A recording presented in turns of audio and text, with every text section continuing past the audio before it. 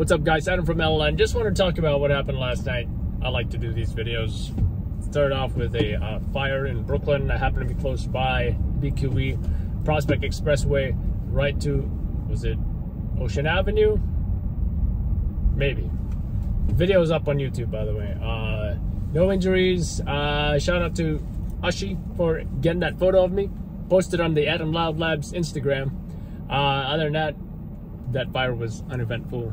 I probably should have used my, you know, gimbal and Sony a7 IV for practice for that fire. Uh, no injuries again. Went to the city, heard about another fire. Uh, don't want to say it was Upper East Side, but you know what? Where was it? It was Midtown, North, maybe.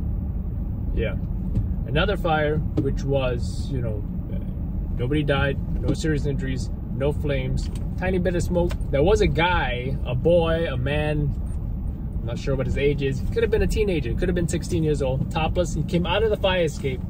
He was not sure where to go. He was like, oh, do I go here? Do I go up? Do I, you know, he was looking at the firefighters. He was, uh, you know, signaling.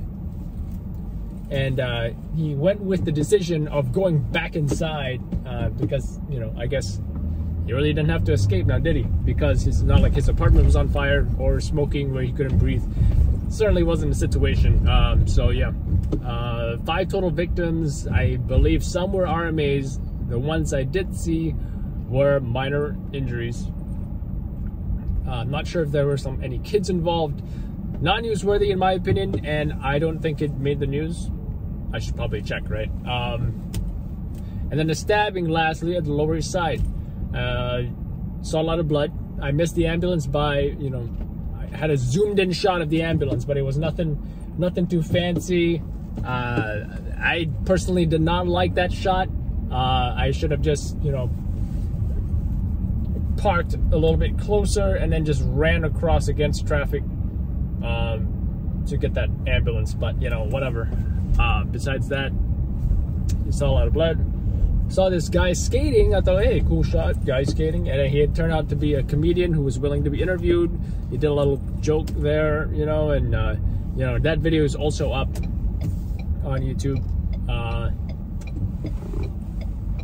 and that was pretty much it. You know, the entire week has been slow, and I'm looking forward to something actually newsworthy and busy happening because so far this week, don't like how it's been going. Mostly this week is about that cop that was fatally shot an attempted robbery in East New York, Brooklyn. Uh, shout out to Usman, who has been covering that uh, a lot, including our guy Mir as well. I mean, he also been has been covering that a lot. Uh, we are gonna be posting the funeral, which was held today, uh, which Usman attended, and um, yeah, that's pretty much it. Uh, look forward to those videos, and uh, we'll see you guys tonight on the next live stream. Adam from LN. Take care.